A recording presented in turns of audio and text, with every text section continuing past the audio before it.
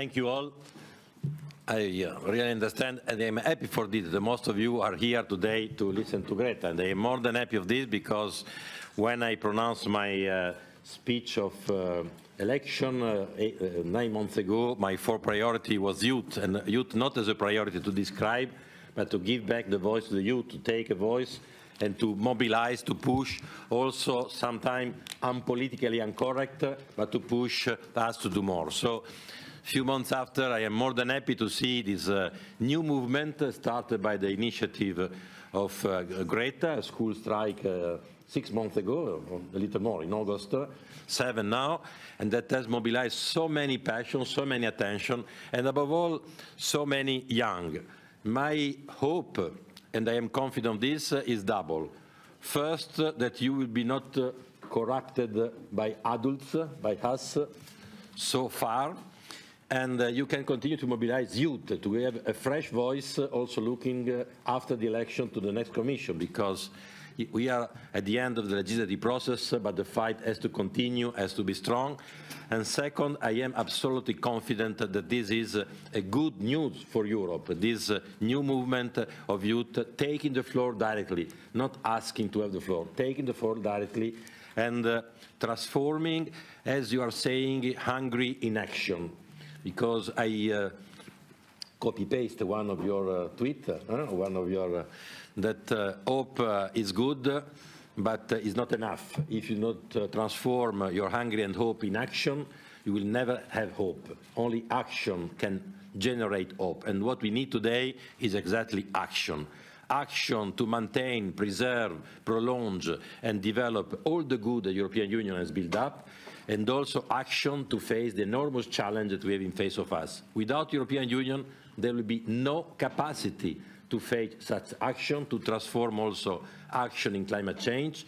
With the European Union, we have an opportunity because we cannot forget that although it's not enough, but the European Union has been the champion at the, uh, at the very beginning of all the climate change fight, the Paris Agreement is in Paris not for uh, an accident, uh, and the Sustainable Development Goals has been pushed by European Union, and European Union can have the lead of this uh, fight in the years to come. So it's not enough, but without the European Union, we'll not have any other possibility to, to take this challenge. So please continue to push, and we need your force, and we need this cooperation to make a difference in this election, at least to mobilize the youth to go to vote and to vote for the good cause and to keep out the angry of the populistic uh, to the action of the person that want a different future but want a future. Thank you. Thank you. Greta, the floor is yours. Do you have... Do you... No. no. What's your reaction about this full morning of listening to leaders? That's okay. It's okay. No, it's not okay. Not working this way. Ça va marcher, il faut un peu de temps, de patience. Well, you can start. Uh, I, my, my voice is not very high. Can we have the micro, please? There. Uh, is this... Uh, no. Uh, Yes, it's working. It's working? yeah. Hi. Uh, so, uh, what should I say? What you feel in your heart After this morning. after this morning? I feel like it's it's a lot of talking and uh, negotiating, and uh, I feel like we aren't moving forward. We are just standing still on the same place as before. We are we are only at square one. We are not moving forward. Uh, but we we will continue to try to push uh, people to to move forward and to to take action and to do something. Okay. We're going to start with a question. Um, one, two, three. We take rounds of three. Please. My name is Anne from the Belgian television. You started this climate school strike. Greta, my name is Anne from the Belgian television. You started this uh, climate school strike on your own in August uh, in Sweden. Now there is thousands of young people all over the world following your example. You will be going to the manifestation here in Brussels. How do you feel about that? I feel that it's incredible that it has spread so far and so fast. Uh, also that um, that hundreds of thousands of children from all around the world are are standing up for for uh, themselves and for our planet, our future, and uh, that we are making our voices heard. Uh, that I think is very hopeful. What did you uh, think of the reaction of uh, Mr. Juncker? Sorry, I'm going to give it to the others, sorry. Ooh, yeah, Hi, can you, yes, you can hear me. Greta, um, my, it's Jennifer Rankin from The Guardian newspaper. And you said in your speech that you thought the EU had to, to double its actions in order to meet the climate targets. Is there anything that you've heard today that makes you hopeful that that's going to happen? Uh, first, I want to say those numbers I got from a scientist who I contacted yesterday. Uh, and uh, uh, what I think, uh, what was the question again? If you have something in what has been told this Oh, morning yeah. that uh, give you uh, reassured that uh, we are going in the direction that you Uh, asked. no. Okay, over there? Yeah, I'm Stephanie, just here, also from the, the Belgian television. I just wanted to know something. You said that you don't really want to speak to the politicians because they don't listen to you really. But why did you come here and accept, and accept the, the invitation? And are you really happy with the answer of uh, Mr. Juncker? Uh, I mean, what I what I mean is that instead of talking to us, they should be talking to the scientists. Uh, but I I am more than happy to to come here and to to speak uh, and to spread the word to people in general as well, um, so that they will put pressure on people in power so that they will do something. Are you really confident in the politician or not? I don't see, sorry, sorry. Not a second. Uh, Not a second. We, we, because there are a lot of people, uh, I see a lot of hands, so we can have a second round later on, here, on the floor. Hi, I'm Sherry Public radio in the US and Deutsche Welle here in, in Brussels. Um, as I watched and listened to the speeches to you, um, I wouldn't have even known that you made your speech ahead of time. It did not seem to me that it was directed at your very fervent concerns. So I would like my question to both of you. If that's the way you're going to answer when the eyes of, of the world are upon you, um, sir, um, how, can you, how can you reassure these young people that you really heard what they said? Did you feel like this was a direct response to your speech?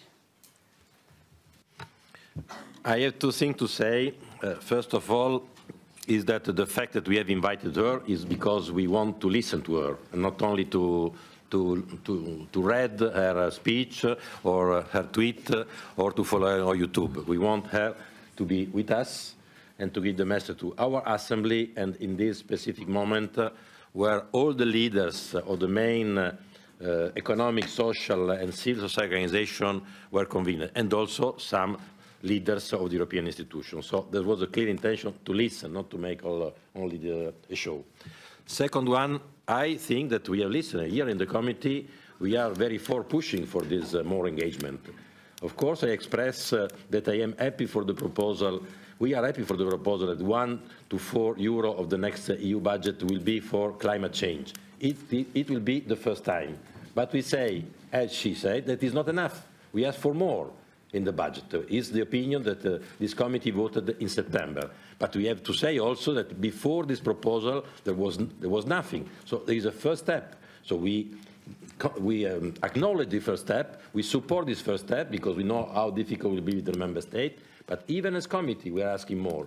And the force of her speech give us more force also to continue to press in the negotiation that will continue for sure after the election, because the budget will be not adopted before the election, to go in this direction and not to go to step forward. Of course, we need this force, and the committee will continue to represent this force to be positively criticizing and support more ambitious in the EU budget toward these goals.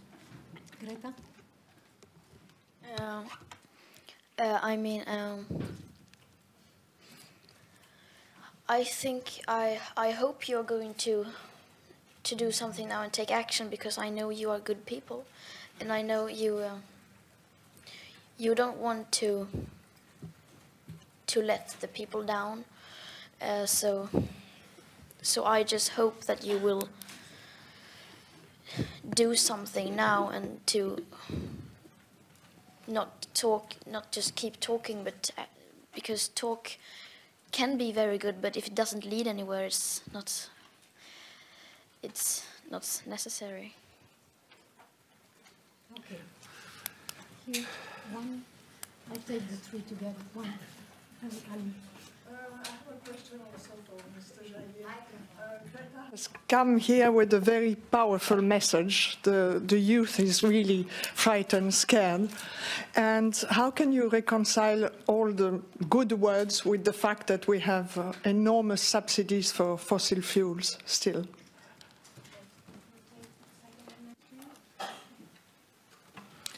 Hi, I'm Victor from the Swedish news agency. I'm, I'm curious on how long, how long you see the future of this. I mean, you've been striking since last year. How long will you continue? Do you see any sort of uh, end to it? And the same thing for, I mean, your Belgian friends. We've been having these uh, Thursday demonstrations now for a month. How long will it continue?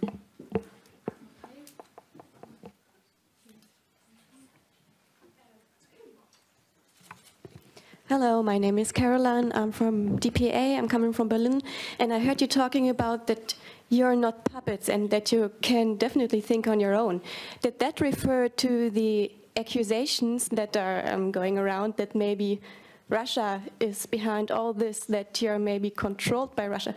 Did you heard about it? Did you hear about it? Did you talk about that with your team? And what do you personally think of this? Okay, maybe we'll start with Jahier and then so that you can think about the answers. I absolutely agree with you, madam. It's not, uh, it's not enough to talk the talk, we have to walk the walk, as uh, Greta is saying very clearly. But uh, of course, uh, you have to reconciliate also the so many interests. So for me, what is important is two things. First, that Europe has started uh, since a few time to take the good direction.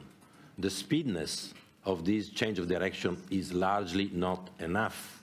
But at least the direction has been taken. It's not the case of the United States. It's not the case of other parts of the world. It's not easy. It's not easy even in the European Union because there are different situations in the European Union between uh, the, the, member state and also the, the energy mix that the member state have. But there has been a change, and under this commission, a lot has been done around a new energy change for the future that will have a, a- a more and more importance of the renewable energy, either for secure and either for producing a, a- a more balance. We have to do more. I fully agree with this.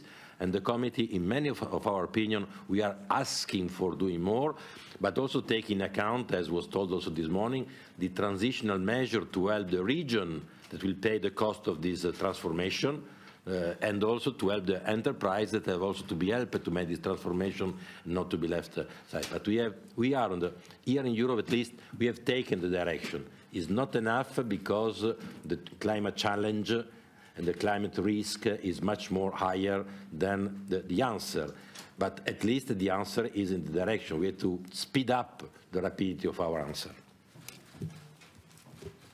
Uh, yes. Uh, There were two questions. Yeah. How long? I'll take the first one first. Um, I am going to continue to strike from school every Friday until Sweden is in line with the Paris Agreement. And I can ask you, uh, how long are you going to?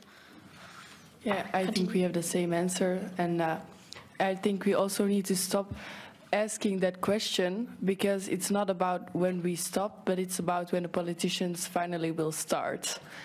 because that's that's not even close. Um, and I think actions need to be done, and we all need to be in line with the Paris Agreement because it's an agreement, and we signed it. So it's like a promise, and we are now breaking promises.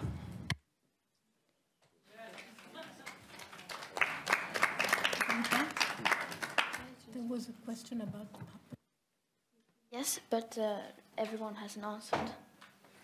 Okay, sorry. Uh, hi, I'm Louisa. Um, I'm one of the strikers from Germany. Um, and of course, we too find it weird that everyone keeps talking about us and about what we are planning and what our parents are doing and what food we are eating, and don't talk about the climate and the crisis we're in. Um, we need to stop this crisis, um, and we don't have a choice really here. So, of course, the strikes will continue. Um, but more than that, we will make every upcoming election there is, including the European one, about the crisis, about the climate crisis. And there mustn't be another election where the crime, climate crisis isn't a top priority.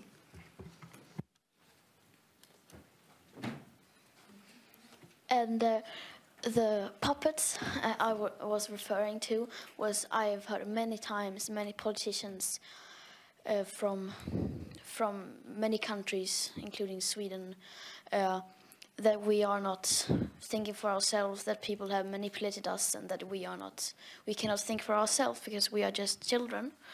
Um, uh, but uh, yeah, and uh, the Russian spy thing. Uh, I I just think I I hope uh, Merkel meant uh, she wasn't. It was just an in, inconvenient uh, phrasing. Uh, I don't think. I don't hope she meant that we are Russian spies. um, and that is absurd. But I, I'm not fluent in German, but I, I got many many German Germans who told me that the translation was bad, and when I tweeted about it, they said that the translation was bad and that she didn't mean that. Uh, but I think it's, as I said in the speech, it's when we talk about when people talk about the climate strikes, a school strike for the climate, they they talk about almost anything except from the climate crisis. They talk about whether we are promoting truancy, or whether we are puppets, or whether we are, or just like, oh, it's great that the young people are taking action. They they don't want to talk about the climate crisis because it feels like they haven't got anything to say about it. They just want to change the subject.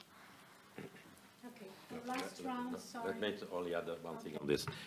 I want only to add one thing to this, and, uh, and uh, not because she's not capable to defend herself, but I think it's not the first time in history that uh, some word has been taken to destroy a position. huh? It's not the first time. And we have to be completely against this. These fakes, they are attacking and using them as puppets, accusing them as puppets because they do not want to, li- to listen to. You can perhaps do not agree entirely with what they are representing, but you have to listen. I have uh, two, two children, and I have learned that you can learn a lot from, from your children. So we have to respect and to take this force, and the way to be totally misrespecting is exactly to say this, that they are puppets in the hand of others.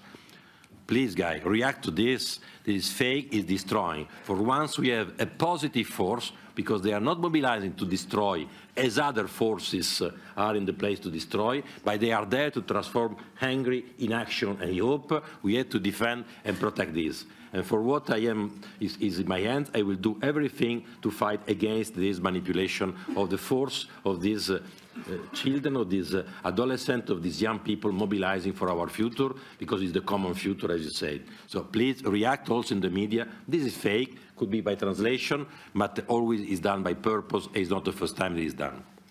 The last round. Yes, hi. I have a question for Greta. Hi, I'm over here. I'm Wouter from the Belgian television VTM. Uh, Greta, the last months you have met uh, plenty of leaders, political leaders, leaders, economical leaders. Has any of those leaders um, made you any promise yet about concrete actions for the climate, for a better climate?